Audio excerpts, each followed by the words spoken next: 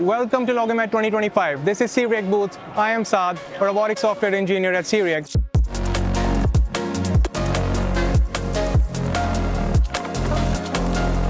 We've got a model which is zero shot, which means that you can put in any item which it has never seen and will be able to generate a perfect picking point to pick it from one bin and place it to another. We've got a solution which is known as Pick GPT, which is similar to what you see in ChatGPT. So you can type in, for example, we've got a bin here which consists of mixed items. We can just say, I didn't have breakfast and I want to grab something to eat. And I can see a chocolate here. It will grab the chocolate and pick from that bin and put it in another.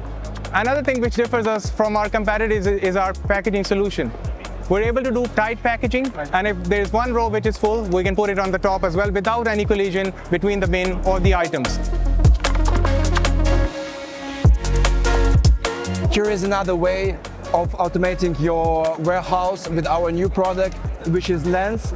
Lens is an AI assistant who was designed and trained on the warehouse environment data and uh, consists of a camera that can be pointed to the certain direction, can answer all of your questions as for the whole content of the bin and also for the each item in the bin specifically.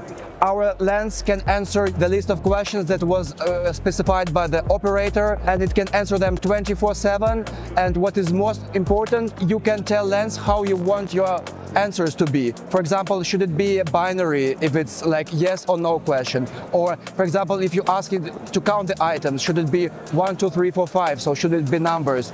So the typical use cases would be how many plastic bags are in the mixed bin and our camera will capture the image and will calculate it for you. Or are there any damaged items in the bin? And the answer will be yes or no. So uh, if you see any value in this product, uh, don't hesitate to contact us.